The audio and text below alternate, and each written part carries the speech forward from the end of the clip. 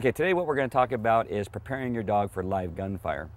Now what is important for me to talk about first is that before you try anything in this video is that you get instruction or get assistance from your canine trainer, range master, and supervisor. Do not attempt to do any of these things without somebody being there to assist you in handling it safely and properly. Okay. In a gun battle, you should know as a canine handler your dog is more than likely going to be a distraction to you. So to begin this process of training, to alleviate that problem, you will need to start training your dog and preparing your dog for that time that you may be involved in a gunfight. The worst time to find out if your dog's going to bite you or your backup during a gun battle is when you're in a gun battle. You want to deal with these things in training and train your dog and prepare your dog for what he's supposed to do, and that is be out of your way and not a, not a detriment to you when you're involved in this type of situation. Now at Falco Canine Academy, biannually, we go down to the range and we set up several scenarios. Many of them are routine in which where we're taking the dog from place to place, taking cover in all the different positions that could possibly be necessary when you're in a gunfight. Standing position, kneeling position, prone position, behind cover, getting out of your car, behind your car, and uh, while on the move.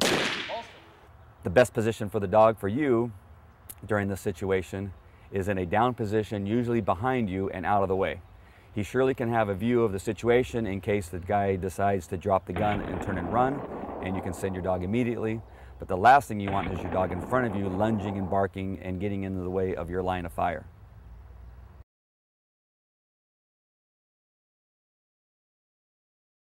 Uh, in, in this case of this video, there are some things you want to do before you even get onto the range. Now back in the 80s, 90s, there was a time where many of the dogs that we imported were aggressive to gunfire. In other words, whenever somebody would fire off a gun, the dog would e immediately target that person as the person to show their aggression. Unfortunately, when the handler would return fire or initiate gunfire, the dog would turn on the handler and bite the handler.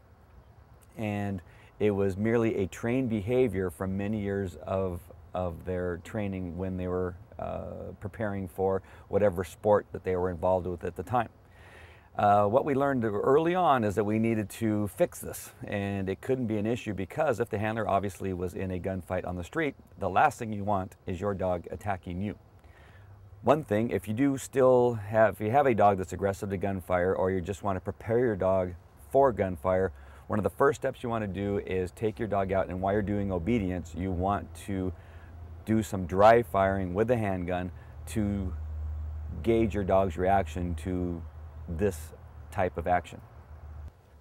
So you might be asking yourself, so why do I start with just clicking my gun around the dog? That's really probably not going to bring any kind of reaction from my dog. Well, just as we do on building searches, obedience, bite work, all that other stuff, is we start on the very lowest level and work up you may not know that your dog has been trained to be aggressive to gunfire. So the very first time he hears that click, your dog might have a strong reaction. So make sure you're prepared. If you feel that your dog may have this reaction, it may be best to muzzle your dog before starting your live gunfire preparation training. So when you get out with your dog, you're just gonna simply have the dog out. There's not gonna be any aggression, no decoy out in the field, uh, nothing like that. You just simply wanna have your dog out and you're going to click your gun around your dog. Gauge what his reaction is. Is he looking at you? Is he looking at the gun? Does he start to have his hair stand up on his back? Um, what is his reaction to that sound, to the sight of the handgun? If you see no reaction and just simply looking at you and looking away, you're probably going to be safe that this is not something that he's been um, around before. If your dog has been around it before and had a negative reaction to it, you'll see the dog begin to shy away uh, and possibly even lay down or try to get away from you because he knows what's coming next. So you're going to have one of two reactions, an aggressive, well, actually three. You're going to have an aggressive behavior once he hears the gun.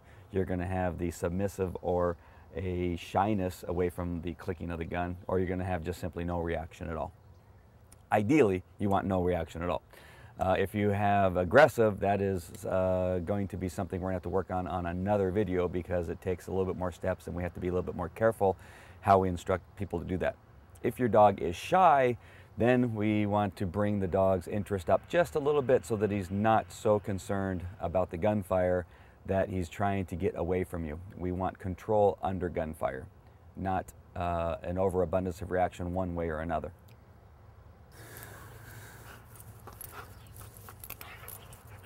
Good boy. So now, now we have Buzz.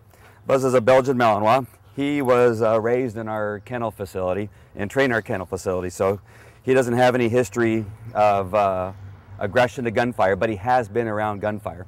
He's been on the street, he's been at the range, so he knows what it's all about. So let's see what his reaction is to the clicking noise.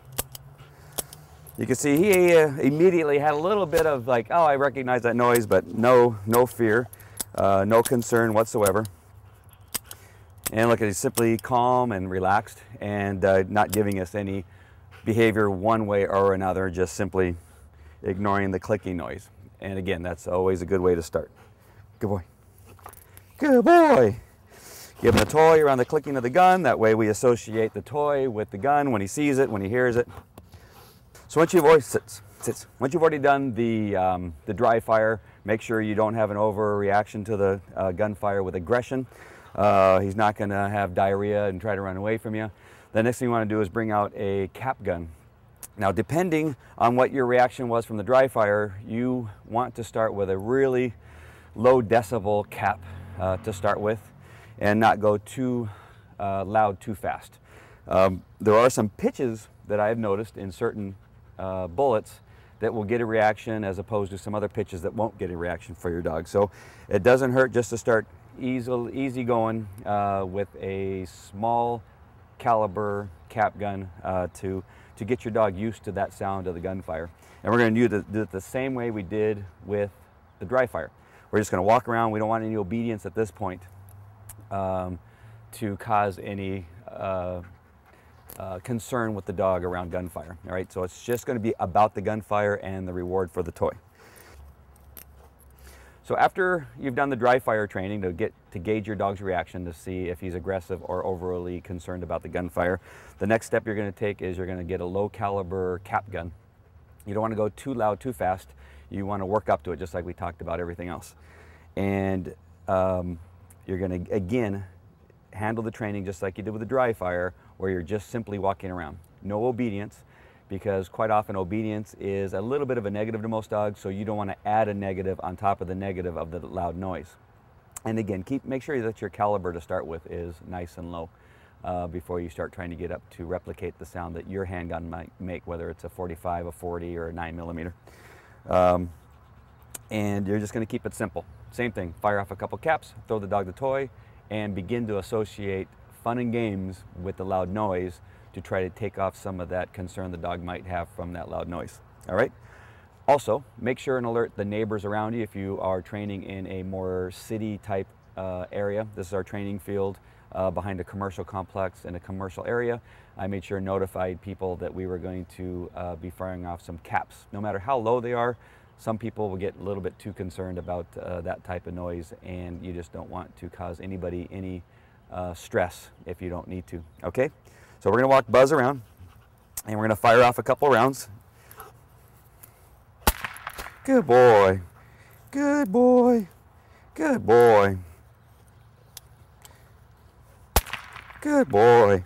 All right, so you see we get a little reaction, nothing too big, and give him a toy right away. Good boy. Good boy. Again, we're not doing obedience. We're not downing the dog on the sound of gunfire yet. That will be something we'll do later. Again, we're just getting the dog used to the sound of the gunfire. Good boy. Good boy. Good boy. Up. Good boy. And get the gun ready again. Good boy. Very nice. Good boy. Good boy. Got a click. You know, these cap guns don't work very well, but they get the job done when we need it to get done. Good boy. Nice. Nice. Good boy. Good boy. All right. Very good, Buzz. And those are the first few steps you're going to take to getting your dog ready for the gunfire.